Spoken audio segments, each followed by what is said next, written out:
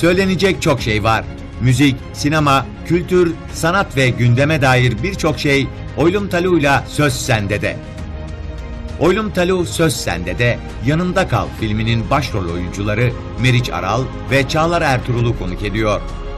Taban tabana zıt iki karakterin hikayesi. Yanımda Kal filmini diğer romantik komedilerden ayıran fark ne? Meriç Aral ve Çağlar Ertuğrul'dan merak edilen sorulara cevaplar. Oylum Talu'yla Söz Sende bugün saat 16.30'da Habertürk'te.